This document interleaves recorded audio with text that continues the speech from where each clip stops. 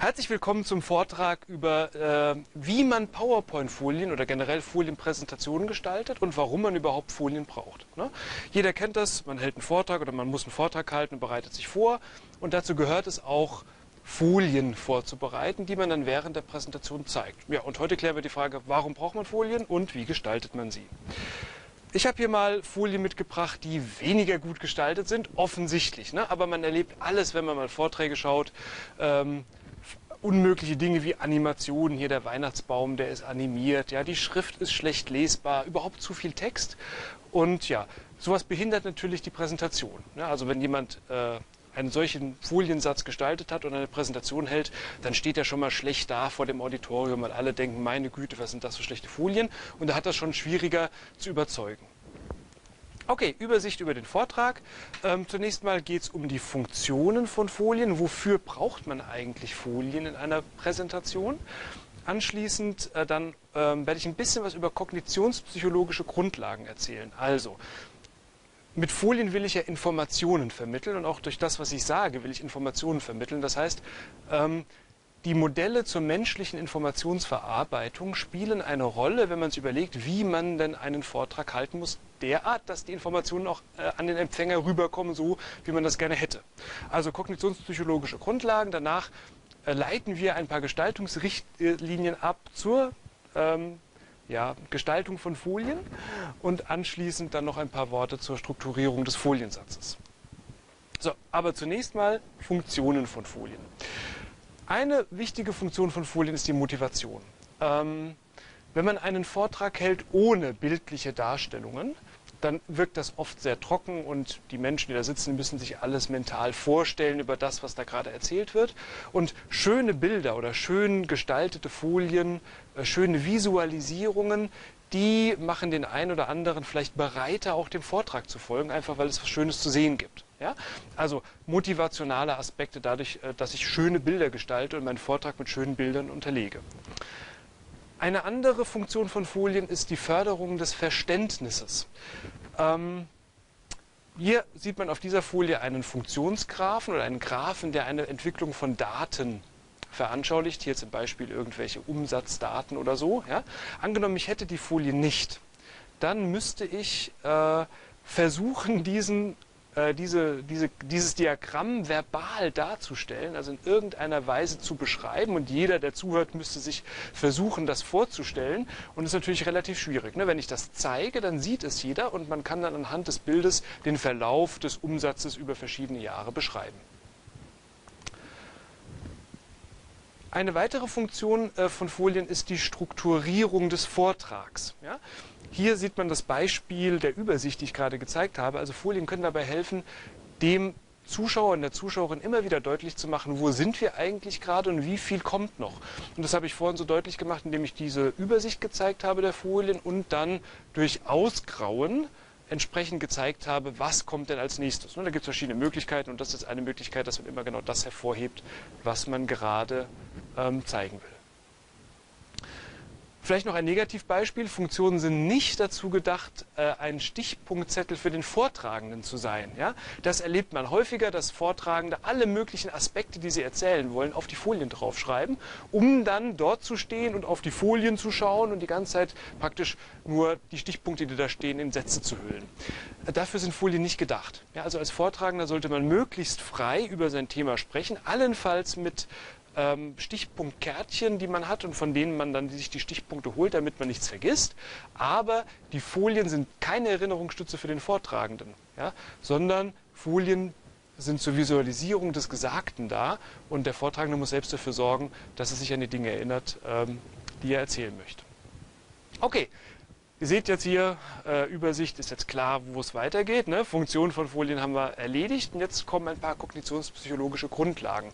Ich habe am Anfang ja schon gesagt, es geht darum, Informationen zu vermitteln, also insbesondere in Vorträgen, in denen es um die Informationsvermittlung geht. Ja? Und ähm, ja, man will ja sicherstellen, dass die Informationen auch beim Empfänger ankommen. Und wenn man von einer konstruktivistischen, von einem konstruktivistischen Lernverständnis ausgeht, dann geht man davon aus, dass man die Informationen nicht eins zu eins einpflanzen kann in die Köpfe derjenigen, die zuschauen, sondern dass man eine Informationsumgebung darbieten muss, aus der sich die Zuschauerinnen und Zuschauer ihr eigenes Wissen konstruieren und nach Möglichkeit das, was man vermitteln will, auch rekonstruieren. So. Und dementsprechend muss eine solche Umgebung auch lernförderlich gestaltet sein. Was man dazu kennen muss, ist das menschliche Gedächtnis. Und da gibt es unterschiedliche Gedächtnismodelle. Und ein ganz populäres Gedächtnismodell ist das von Atkinson und Schifrin, ähm, das im Wesentlichen aus drei Aspekten besteht. Einmal gibt es ein sensorisches Gedächtnis, dann ein Arbeitsgedächtnis und das Langzeitgedächtnis. Das Arbeitsgedächtnis, das heißt in dem Modell eigentlich Kurzzeitgedächtnis. Ähm, neuere Modelle nennen es Arbeitsgedächtnis und wir gehen da nachher drauf ein. Ähm, wir verwenden noch den Begriff Arbeitsgedächtnis weiterhin. Okay, wie genau ist die menschliche Informationsverarbeitung gestaltet? Wie läuft das ab nach diesem Modell? Ich als Mensch nehme, als Zuschauerin, Zuschauer oder generell immer und überall im Alltag, nehme Informationen über meine Sinneskanäle wahr, über die Augen, über die Ohren. Äh, und diese Informationen werden zunächst mal in das sogenannte sensorische Gedächtnis geleitet. Das ist ein Ultra-Kurzzeitspeicher, in dem die Information nur ganz kurzfristig vorhanden ist. Und zwar im Wesentlichen, äh, um das gesamte Informationsumfeld ganz kurzzeitig mental zur Verfügung zu stellen, damit man sich aus, diesem Information, aus dieser Informationsumgebung äh, die bestimmten Dinge aussuchen kann, auf die man seine Aufmerksamkeit richtet. Ja, man ist klar, die ganze Welt um uns herum, die kann ich beispielsweise mit meinen Augen nicht immer permanent vollständig wahrnehmen. Ich muss meine Aufmerksamkeit auf was richten. Der sensorische Speicher dient dazu, ähm, sozusagen als, als Ebene oder als Feld meine Aufmerksamkeit auszurichten. Ja? Um ein Beispiel zu nennen, wenn ich äh, als Urzeitmensch gejagt habe, dann sitze ich da und beobachte den Mammut, ja, oder das Mammut beobachte ich die ganze Zeit ganz scharf. Und wenn dann aber äh, aus der Seite ein Säbelzahntiger kommt, dann sollte ich den bemerken. Ja, insofern äh, sollte ich ja meine Aufmerksamkeit auf den richten. Und das ist möglich deswegen, weil der sozusagen in meinen sensorischen Kurzzeitspeicher hineinkommt. Oder ein anderes bekanntes Phänomen ist das Partyphänomen. Ich stehe auf einer Party, unterhalte mich überall Gemurmel. Ja? Ich kriege eigentlich nur das mit, was der Gegenüber zu mir sagt. Aber irgendwann höre ich meinen Namen, Spannagel hinten im Hintergrund. Ne? Und jeder kennt das, sofort ist die Aufmerksamkeit da. Man hat das irgendwie mitgekriegt, obwohl die Aufmerksamkeit gar nicht darauf gerichtet war. Okay, auch das ist Information, die im sensorischen Gedächtnis kurzzeitig zur Verfügung steht, damit man seine auditive Aufmerksamkeit dann entsprechend ausrichten kann. Okay, die Information, auf die man seine Aufmerksamkeit gerichtet hat, die wird übertragen in das Arbeitsgedächtnis oder Kurzzeitgedächtnis. Und landläufig denkt man, Kurzzeitgedächtnis ist was, das gilt so für mehrere Tage oder so. Nein, Kurzzeitgedächtnis ist ein Gedächtnis, das in diesem Modell nur, Zeit, nur Informationen für wenige Sekunden zur Verfügung stellt. Ja? Und alles das, was längerfristig gespeichert ist, das ist im Langzeitgedächtnis. So. Das Langzeitgedächtnis, das ist das Gedächtnis, das all unser Vorwissen, all unser Wissen enthält, sowas wie, wie ich heiße, was ich heute Morgen gegessen habe, ähm, mein Weltwissen über was sind Tiere, was sind äh, Pflanzen und so weiter. Ne? Und ähm, auch das, was ich letzte Woche für die Klausur gelernt habe, das habe ich nicht im Kurzzeitgedächtnis, sondern das habe ich in meinem Langzeitgedächtnis. Ich vergesse es nur vielleicht schnell wieder. Ja? Okay, also Langzeitgedächtnis ist mein ganzes gespeichertes Wissen. Kurzzeit- oder Arbeitsgedächtnis ist nur dasjenige Wissen, das momentan bewusst in meinem Kopf ist. Ja? Also, ich nehme Informationen von außen wahr und die Aufmerksamkeit selektiert Informationen und überträgt sie ins Kurzzeitgedächtnis oder Arbeitsgedächtnis und dort ist sie jetzt bewusst. Und damit kann ich arbeiten. Also das, was gerade gesagt wurde, das, was ich gerade gesehen habe, das ist dort und kann verarbeitet werden. Und dazu kann ich mir auch Informationen aus dem Langzeitgedächtnis hinzuholen. Also wenn ich einen Hund sehe beispielsweise, dann sehe ich den Hund. Die Information Bild von Hund wird in mein Kurzzeitgedächtnis oder Arbeitsgedächtnis übertragen und aus dem Langzeitgedächtnis hole ich mein ganzes Wissen über Hunde und das sagt mir beispielsweise, dass ich jetzt weglaufen sollte, weil der die Zähne fletscht. So. Okay. Knackpunkt an der ganzen Sache ist, das Arbeitsgedächtnis ist ein Flaschenhals. Da passt nicht so arg viel rein. Ich kann nicht beliebig viel bewusste Information verarbeiten. Ich kann nicht ich kann nur ganz wenige Informationen, ich kann nur ganz wenige Informationen in einem Moment denken und diese Informationen dann bewusst denkend verarbeiten. Und ähm, man sagt so sieben plus minus zwei Elemente. Neuere Theorien gehen von weniger sogar aus. Ja, also ich kann nicht so arg viel Information im Arbeitsgedächtnis verarbeiten.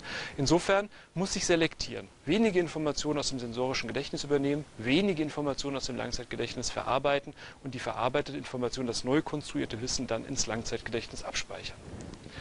So, die Tatsache, dass das Arbeitsgedächtnis so kapazitätsbeschränkt ist, ähm, hat dazu geführt, dass äh, sich mehrere Menschen mit dieser Kapazitätsbeschränkung befasst haben, unter anderem Chandler und Zweller und andere, und haben einen ganzen Forschungszweig gegründet, der äh, sich Cognitive Load Theory nennt, also Theorie der kognitiven Last, könnte man sagen, ähm, weil es natürlich ganz essentiell ist. Wenn man hier einen Flaschenhals hat im Arbeitsgedächtnis, dann ist es ganz wichtig, diesen Flaschenhals nicht zu äh, zu überfordern oder nicht zu viel reinzustopfen beispielsweise oder ja, ähm, zu sehen, dass eine Kapazitätsbeschränkung ganz relevant ist für die menschliche Informationsverarbeitung.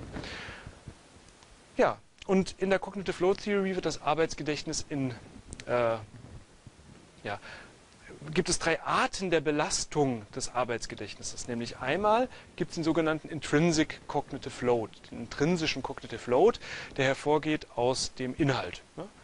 aus der Inhaltskomplexität.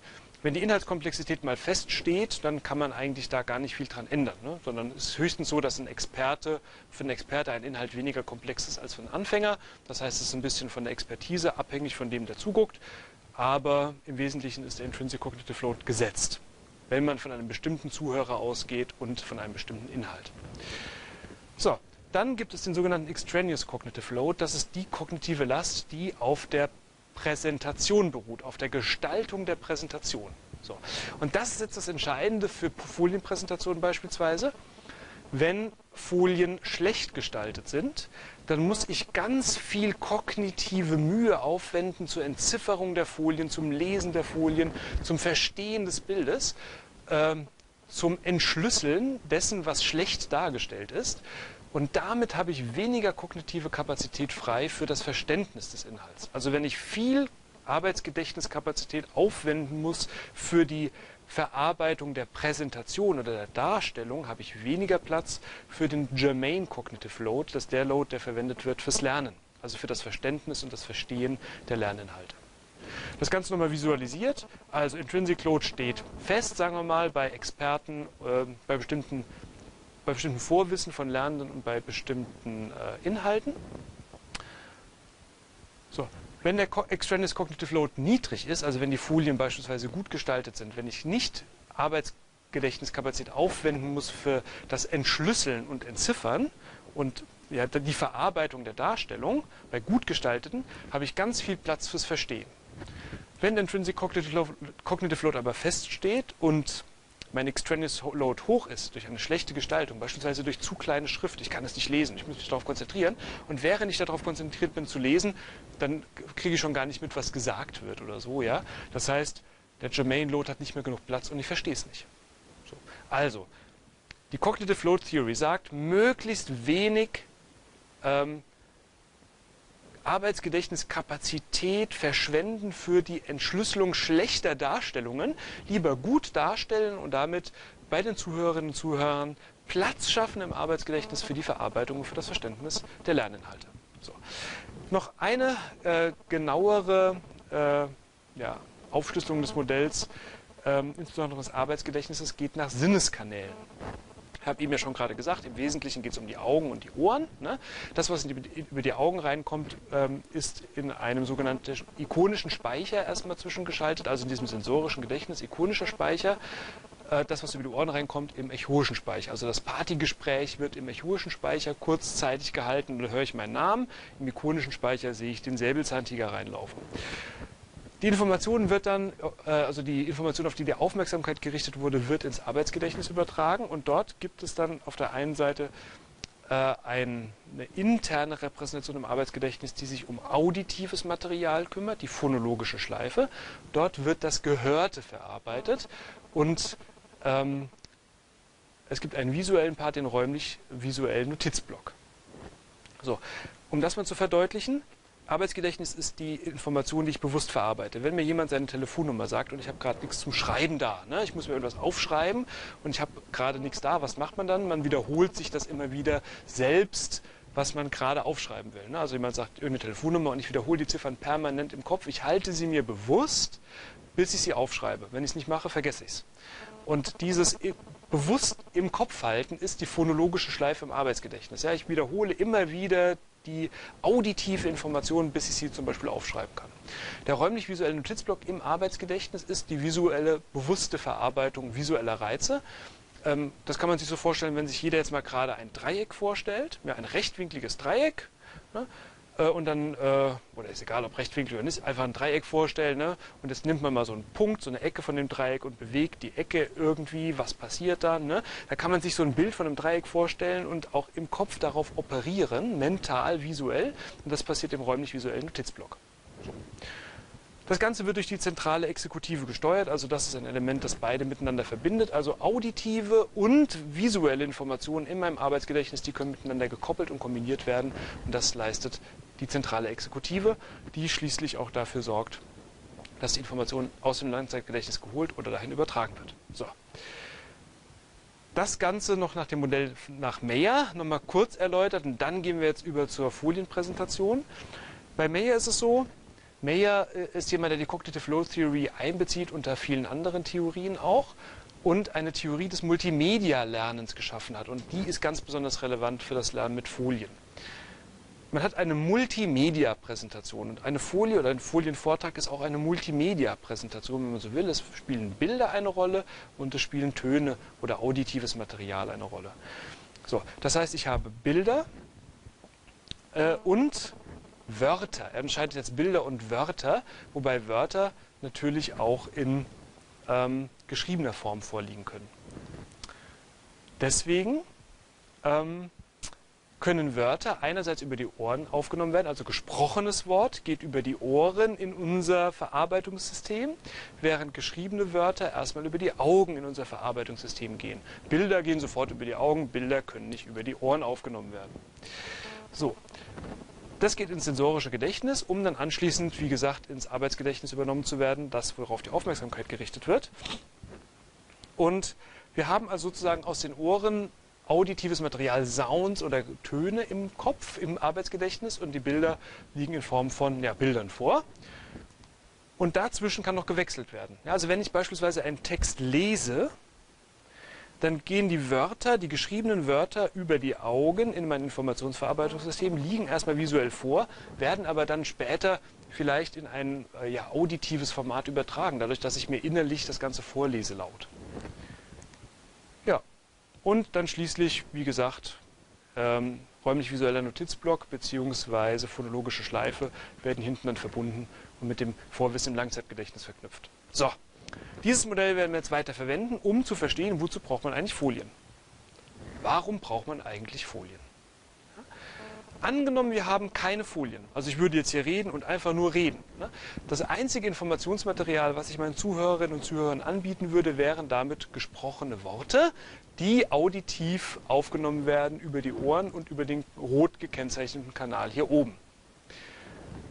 Jetzt ist es so, das ist nur einer der beiden Kanäle. Ja, das heißt, man nutzt überhaupt nicht die Tatsache, dass zwei Kanäle vorliegen und auch parallel genutzt werden können, um hinten dann insbesondere ähm, bei der Verknüpfung beider Kanäle eine ja, reichhaltigere Informationsverarbeitung zu bieten, dadurch, dass auditives und visuelles Material gleichzeitig miteinander verarbeitet werden kann.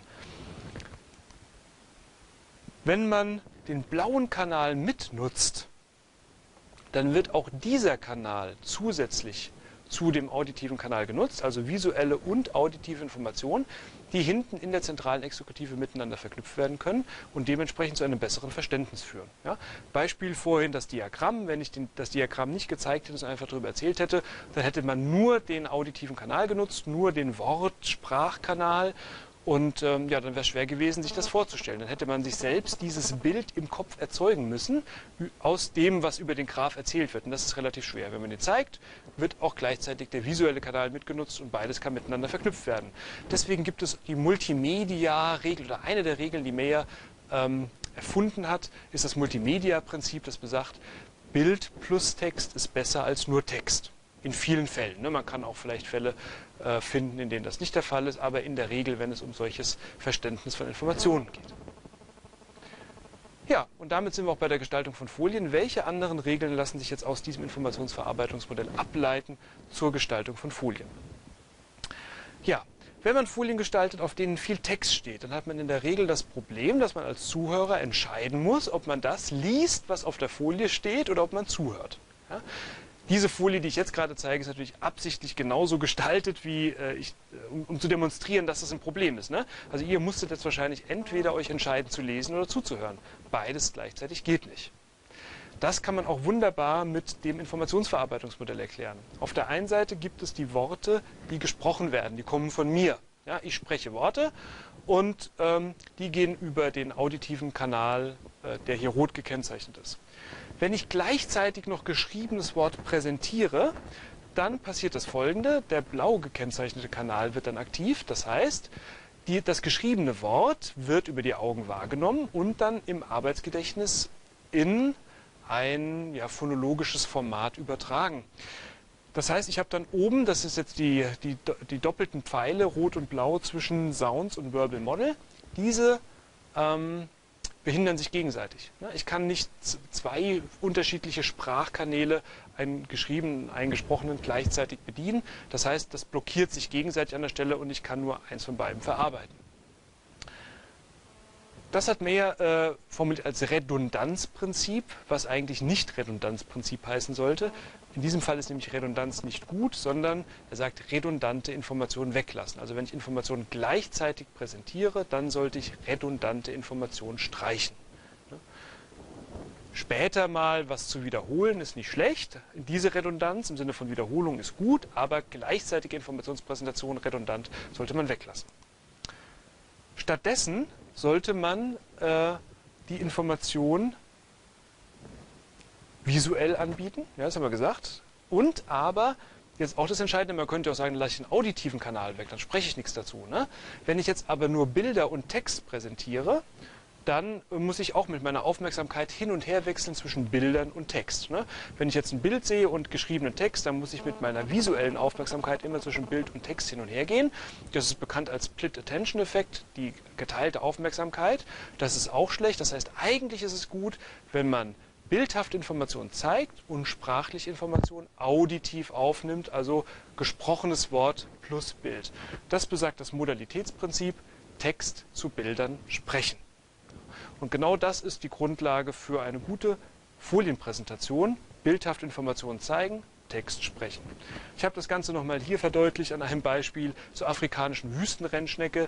Äh, wenn ich jetzt hier eine Information präsentiere zur afrikanischen Wüstenrennschnecke, dass das schwer war, die zu entdecken, weil sie so verdammt schnell ist und so weiter. Ja? Wenn ich da jetzt spreche, dann hat man wieder das Problem, dass man nicht lesen kann und gleichzeitig zuhören.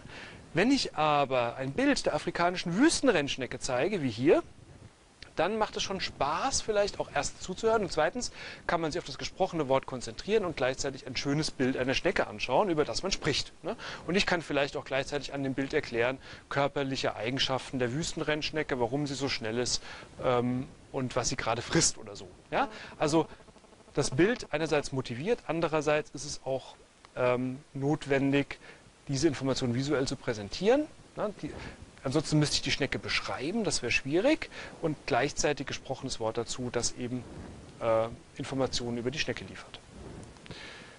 Okay, bildhafte Gestaltung von Folien. Welche Bilder kann man nehmen? Also wir haben einmal gesehen Fotos. Fotos sind gut, ja. Und dann nicht groß Text auf die Folie packen, einfach das Foto zeigen und über das Foto sprechen.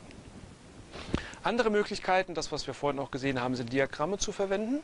Beispielsweise Diagramme dieser Form, in denen man etwas skizziert, eine Struktur skizziert und über die Struktur spricht. Oft macht man den Fehler, dass man die Struktur beschreibt in so Bullet Points, also in so einzelnen Stichpunkten. Die Struktur zeigen, visuell, räumlich, versuchen ein gutes Bild zu machen und über das Bild sprechen. Das ist entscheidend. Da kann man sich ruhig auch zehn Minuten mal mit so einem Bild befassen. Man muss ja nicht einen Folienwechsel so schnell vornehmen, sondern man hat einen längeren Zeitraum, spricht über das Bild und dann zeigt man das nächste Bild. Oder man äh, macht eine visuelle Darstellung von äh, Diagrammen beispielsweise in dieser Form, Graphen, Funktionsgraphen, Diagramme. Manchmal ist man geneigt, Tabellen zu zeigen. Ja, wenn man eine Tabelle zeigen möchte, dann kann man sich gleichzeitig überlegen, ob man das Ganze nicht auch noch visueller machen kann, indem man ein Säulendiagramm, ein Kreisdiagramm zeigt oder ähnliches. So.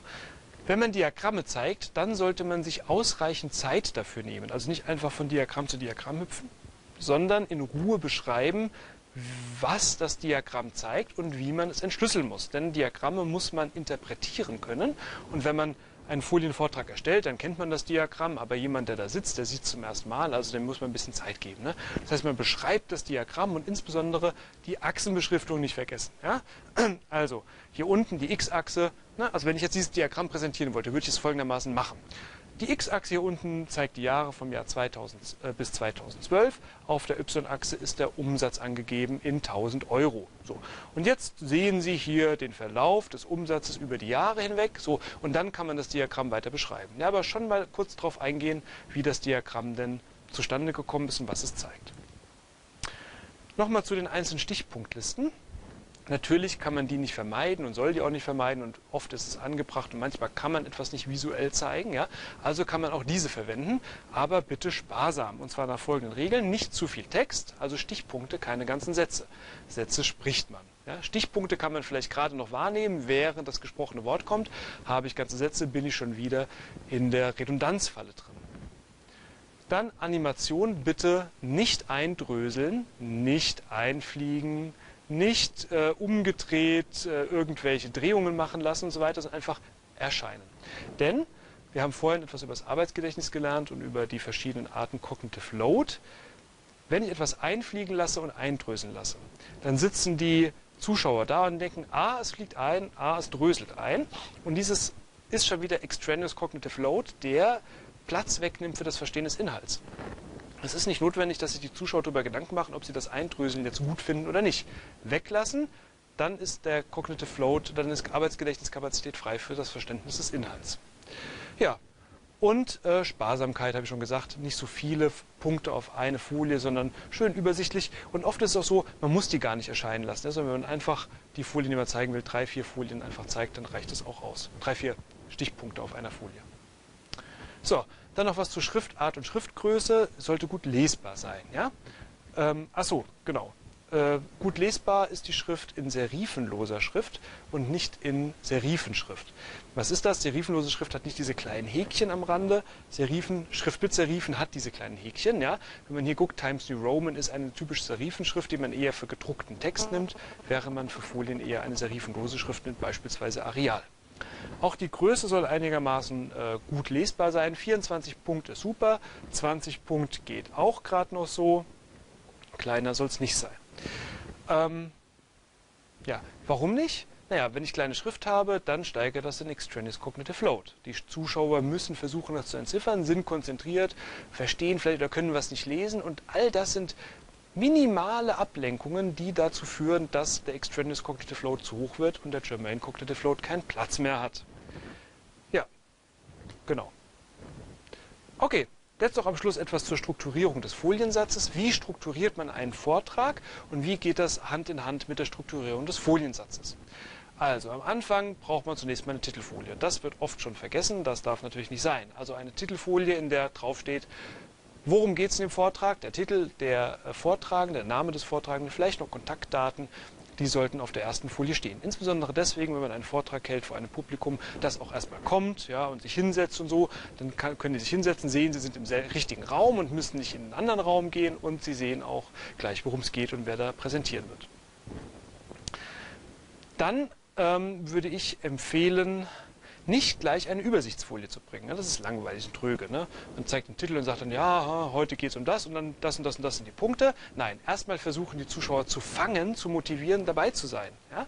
Und das macht man ganz gut mit einer Motivationsfolie. Vorhin habe ich probiert, erstmal eine schlechte Folie zu zeigen, um zu sagen, hier, guck mal Leute, so nicht. Ja? Wir lernen heute, wie man es richtig macht und das wäre so eine Motivationsfolie. Dann anschließend kann man die Übersicht bringen, so wie ich es gemacht habe und dann kommen die Inhalte und jeweils immer wieder Übersichtsfolien zwischendrin, damit die Leute sehen, wo sind wir denn gerade, auch entsprechend gekennzeichnet, vielleicht so wie ich es gerade gemacht habe. Am Schluss darf eine Zusammenfassungsfolie nicht fehlen, ja, dass man nochmal kurz das Wesentliche sagt und zur Diskussion überleitet, weil es oft nach Vorträgen auch Diskussionen gibt. Ja, und am Schluss darf eine vielen Dank für Ihre Aufmerksamkeit Folie nicht fehlen, auf der man idealerweise nochmal einen Link angibt, unter dem man die Folien findet oder eine Website oder eine Kontaktadresse, weil man in der Regel nach dem Vortrag nochmal in den ersten fünf bis zehn Minuten ähm, diskutiert und das dann die ganze Zeit gezeigt wird und die Leute sich dann die entsprechenden Kontaktdaten aufschreiben können. Empfehlenswert ist auch, wenn man ganz viele Folien hat ähm, und die nicht alle zeigen will, dass man die nicht löscht aus der Präsentation, sondern ausblendet.